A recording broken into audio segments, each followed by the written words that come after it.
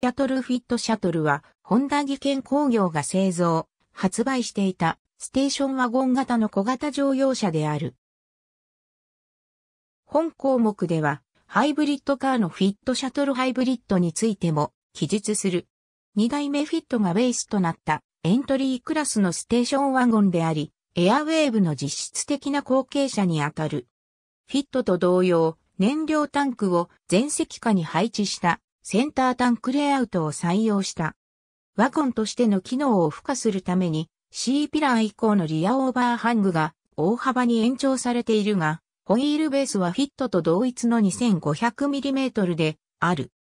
外観デザインのバランスを考え、フロント周りが北米仕様フィットと同一のパーツで延長され、サイドドアはガラスやサッシも含めてフィットと共用することでコストの増大を極力抑えている。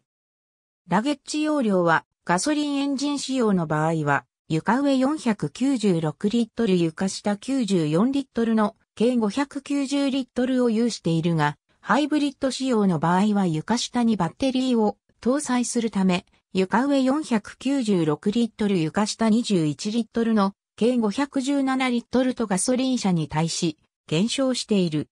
パワートレーンはフィットと同様にガソリンエンジンとハイブリッドが設定されているが、ガソリンエンジン仕様については1.5リットルエンジンのみが設定される。駆動方式は FF の他ガソリンエンジン仕様には 4WD も設定され、トランスミッションは FF 仕様にはトルクコンバータ付き CVT が組み合わされ、4WD 仕様には5速 AT が組み合わされる。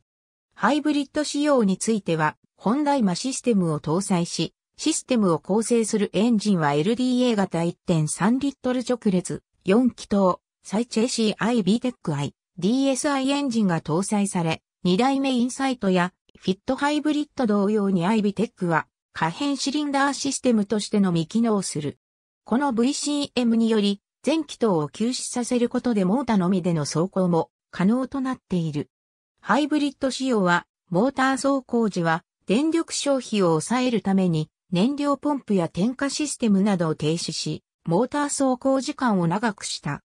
ガソリンエンジン仕様は、テールゲートスポイラーやボディ底面に空力パーツ、フロントバンパー形状の見直し、さらに両車ともにエンジン内部の摩擦、ブレーキの回転抵抗の軽減をしたことによって JC08 モード燃費でガソリンエンジン仕様は FF 車で 18.8km、L、4WD 車で 14.6km、L、ハイブリッド車は 25.2km、L の優れた低燃費を実現しており、ハイブリッド車は全車、平成27年度燃費基準プラス20%を、ガソリンエンジン仕様の FF 車は平成27年度燃費基準をそれぞれ達成している。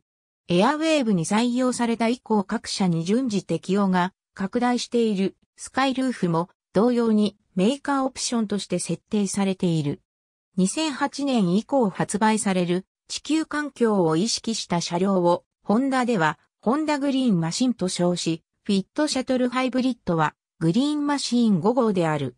なお、先代のエアウェーブにはそれをベースにしたライトバンが存在していたが、本モデルをベースとしたものは存在しなかった。L15A 型 LDA 型 MF6 型フィットは、ぴったりのという意味の英語で、ベース車のフィットから来ている。シャトルは、人と荷物を安全に、そして先進の技術で運ぶというイメージを、スペースシャトルになぞらえてネーミングしている。日本国内で社名に、シャトルが使われたのは、かつて販売されていたシビックシャトルの生産終了以来実に15年ぶりである。なお、後継者のシャトルも同様の意図でネーミングされている。ホンダ技研工業の公式サイト上ではワゴンではなくフィットと同じコンパクトに分類されている。